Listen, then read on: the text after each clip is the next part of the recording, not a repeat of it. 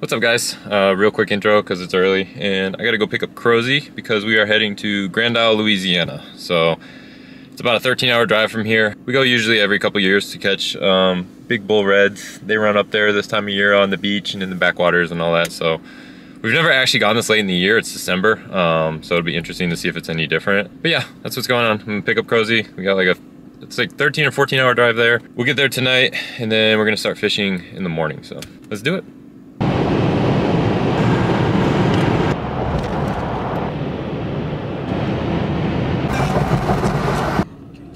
Good old blue dolphin in. Yeah, dog or cat? That's definitely a cat.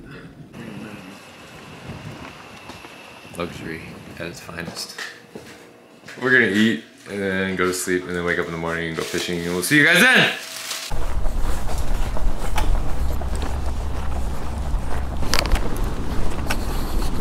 Normally, you probably want to read the beach and blah blah blah, all that.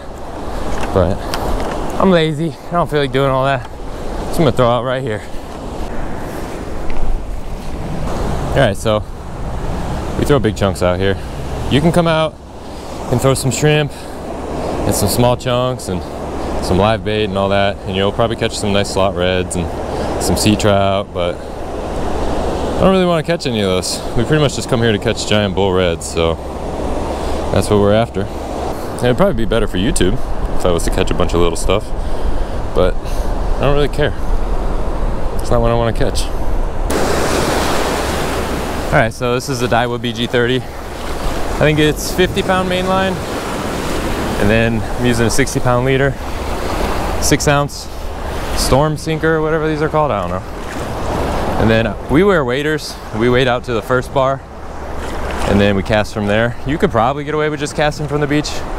Um, it just seems like this works the best for us, so this is what we do. Gotta shuffle them feet. Watch out for them stingrays. And went far enough. Oh, and then this is a 12 foot old school Ocean Master Heaver. I wish they still made these rods, but they don't. Now we're gonna walk it back to the rod holder.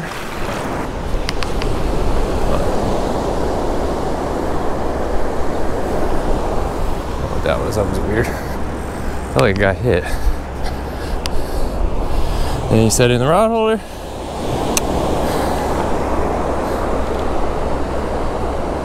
Reel up your slack. Oh, it's already hit. Yeah, that's a fish on. Yeah, we're already on. I didn't even get in the rod holder. Feels like a drum. That was fast. Yeah, it's a drum. Definitely a drum. Feels like a redfish. Black drum feel a little different. Yeah, it's kind of funny. I thought I felt it get picked up there. It's a redfish. Small boy or big boy? Uh, I don't know. You can't tell with these rods, dude. Yeah. It's coming in pretty quick though. Nice red. Huh? It's a red. Come on. Yeah, surf him in.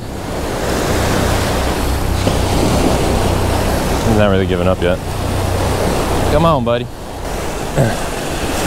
There we go.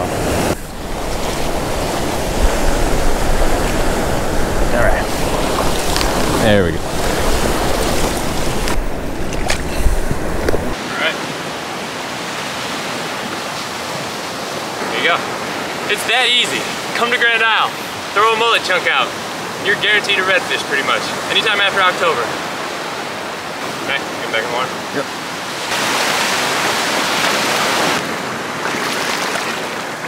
All right, get another one. I'm gonna throw the St. Croix Premier out.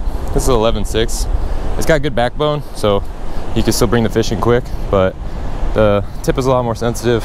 It just, a, it'll be more of a fun rod. You can feel a lot more with it. And then on this I have my Akios 666, and this is 40 pound mainline, same leader, all that, yada yada.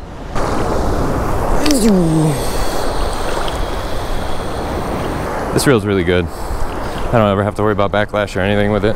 Hopefully, we make it back to the rod holder, get your drag set, turn the clicker on, and now we wait. Got the red.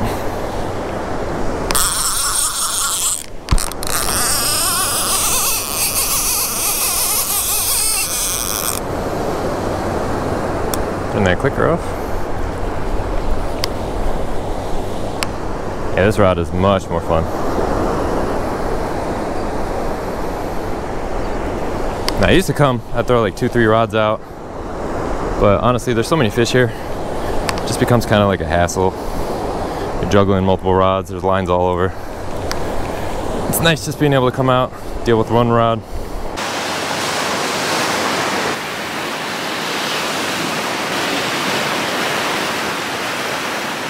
This fish does not want to come over that bar.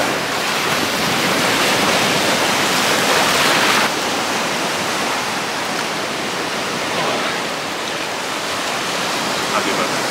You look good. You look nice and tall. Want a photo or nothing? Nah, I mean, it's the same fish over and over. Crozie's on. Got the Ugly Stik in action. Oh, you're welcome. He ate his Wheaties.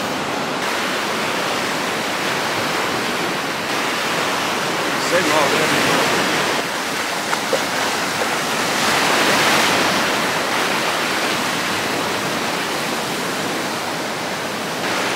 Fine specimen. Say cheese.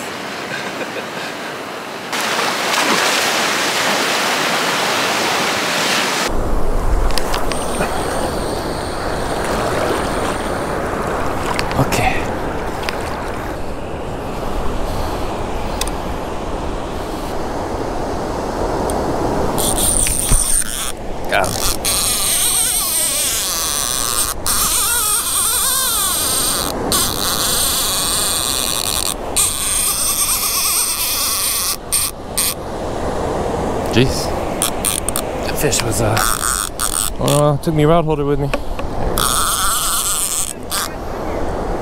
Huh? Get up here, boy. Oh, this one's got some weight to him. Hoo-yah!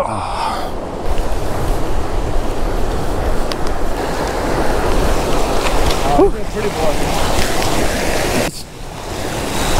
Oh, that's a big one. You gotta sell them the Bass Pro Shops. It's an estimated like 79 inches, Sounds about right. right? Ah! All right, that's fish number 782. Going back in the water now. All right, buddy. Oh, all right. Where'd you go? Where are you? There you are. Think I'm gonna throw a bucktail. Oh, yeah, Johnny.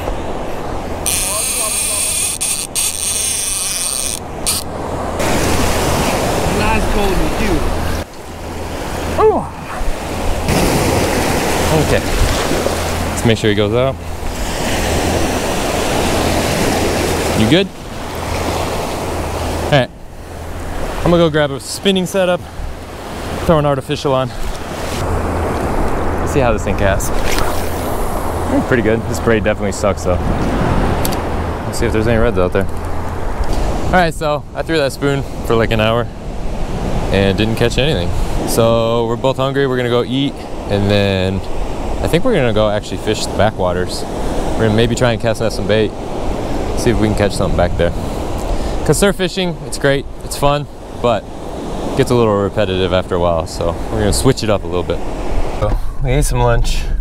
I'm gonna go fish some side roads now. Crozy, he's gonna hang back. He's sleepy. Can't keep up, you know, with us youngins even though I'm older than he is. I think it'd be really cool to catch a big redfish out of one of these little uh, side ditches on these these roads out here. So we'll see what happens. Like the slack low tide, there's like zero water movement and it's super low. So I'm gonna head back, do one more surf session, but I'm not gonna put on waders and all that. I think I'm just gonna try and cast from the beach and see what happens. So I'll probably see you guys out on the beach. All right, so my whole goal is I'm gonna do this without waders. I'm gonna keep my shoes on. I'm gonna cast from the beach, and not touch the water.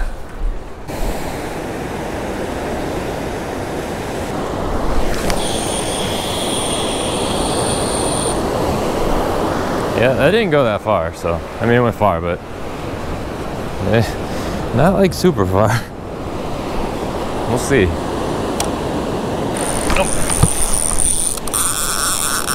Well, I guess you don't have to get out past that bar.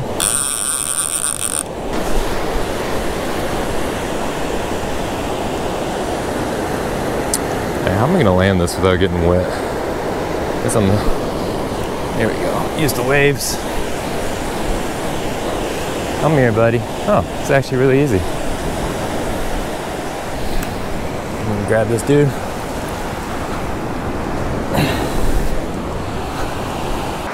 Alright, so there he is. Looks like all the other ones. This one's eye. Look at this eye on this side. I don't know if the camera will pick that up. My other rod's going off. I think it's catfish. Look at the eye on this side. It's kind of crazy. This is what a normal eye looks like. I don't know what's going on there, but I'll go get him back in the water.